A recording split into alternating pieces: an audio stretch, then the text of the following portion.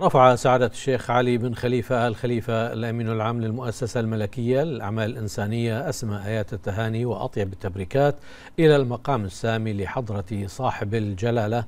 ملك البلاد المعظم الرئيس الفخري للمؤسسة الملكية للأعمال الإنسانية بمناسبة اليوبيل الفضي لتولي جلالته مقاليد الحكم. وأكد الأمين العام للمؤسسة الملكية أن هذه المناسبة الغالية وما تحقق خلالها من إنجازات إنسانية شاملة في مسيرة الخير والعطاء لجلالة الملك تدعونا للفخر والاعتزاز والوقوف والنظر إلى مسيرة الإنجازات التنموية الكبرى التي حققتها مملكة البحرين بمختلف المجالات.